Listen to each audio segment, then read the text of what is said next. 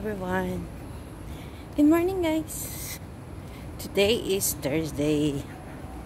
Wala, sinipag lang ako mag-exercise ako today.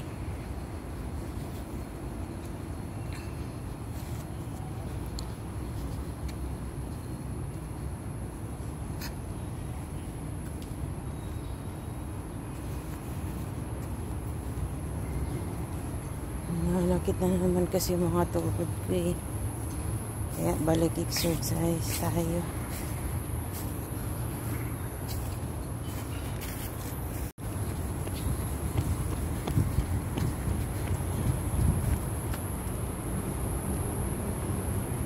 Wala masyadong tao. Dalawang tao lang kasi alam eh. Sama. Masyadong tao. Tahimik ng playground.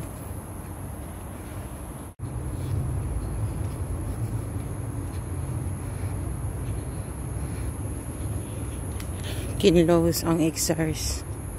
Mga exercise.